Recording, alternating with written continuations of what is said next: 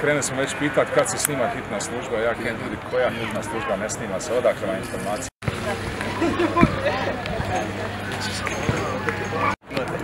Pazi, pazi ovo da ne gurne možda kameru. Tri noge.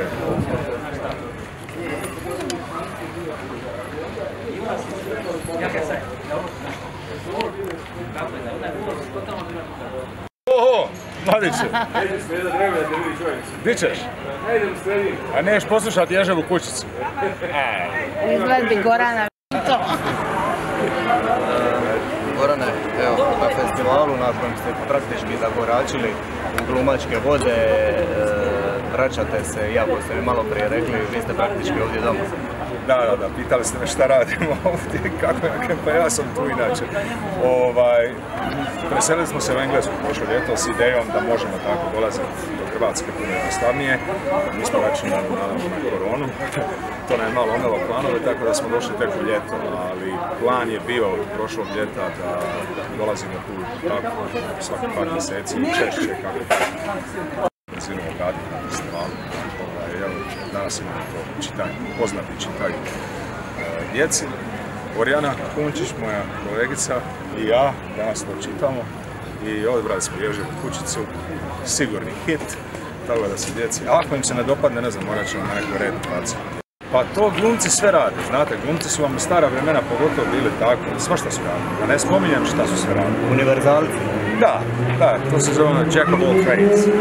Znači, moraš, glumac mora znati sve raditi, da čitati djeci, tako većina glumaca počinje. Jer počinje glumački posao u dobu kad ste dijete, počinje se posvlačiti u nekakve čudne kostime, igrat se, ne znam, vitezova, kauboja, indijanaca i onda to naraste tako nešto, preraste iz amaterstva u nešto profesionalno, nekad ne, se to ne dogodi, tako da je to uvijek neki početak, ovo je vratiti se tome da čitate djeci, to je, to je neki korijen. On je.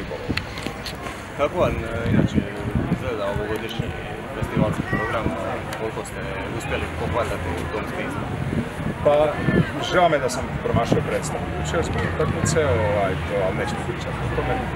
Ovaj, što sam do sad vidio, program je odličan s obzirom na, na uvjete i s obzirom da je bilo pod upitom da će festival uopće biti.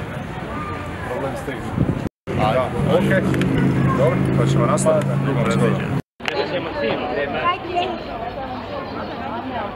Gdje ću sad prepustiti Goranu i Orijani jer oni su izabrali e, priče koje će vam večeras čitati. Riječ je o naslovima koji su njima iz nekog razloga posebno. Ona zapravo prva e, pročitat e, jednu priču, a onda ćemo tako krenuti lagano.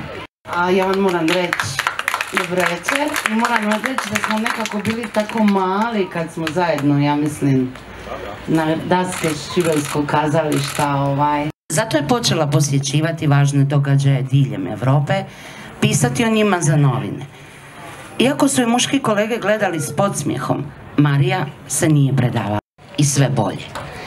Pisala je i za prve hrvatske ženske časopise, te organizirala ženske prosvjede. Željela je da se čuje ženski glas priče.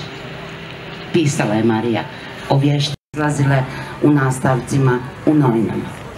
Redovima kako bi kupili svoj primjerak. Iznad najljepše zagrebačke tržnice moći ćeš vidjeti sobu